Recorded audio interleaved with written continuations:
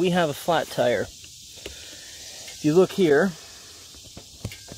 there's a big old honking tear here. I elongated it slightly uh, so I can get more of my finger in here, but essentially um, there's a hole in the tube.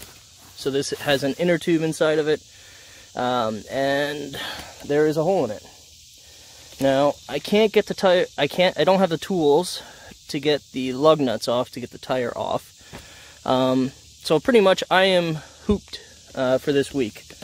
There's, I really wanted to bring some heavier stuff up onto the mountain, um, but I can't.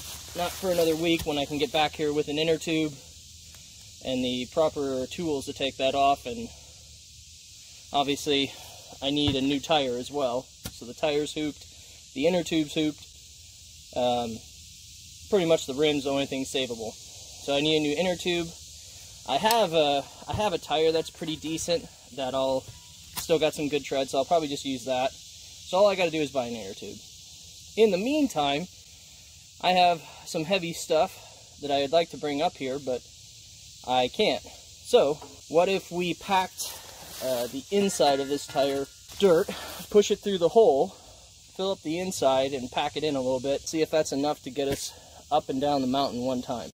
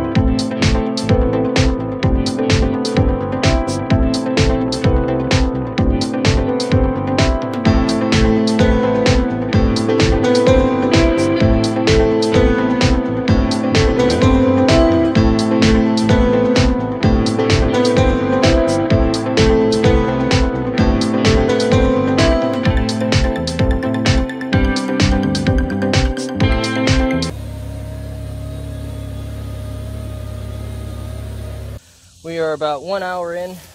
I'm to classify that good enough to go up and down the mountain one time and bring in the stuff that I want to bring in.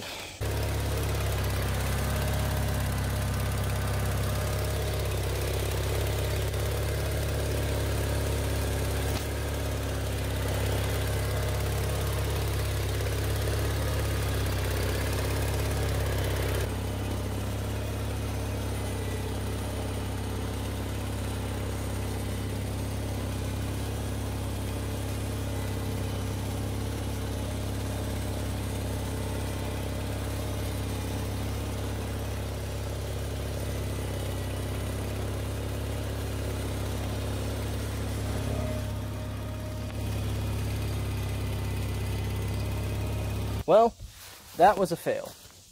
But we learned something, I think, and that is that even though the dirt could theoretically take the the load uh, between the wheels metal frame and the ground, the dirt could theoretically support that load.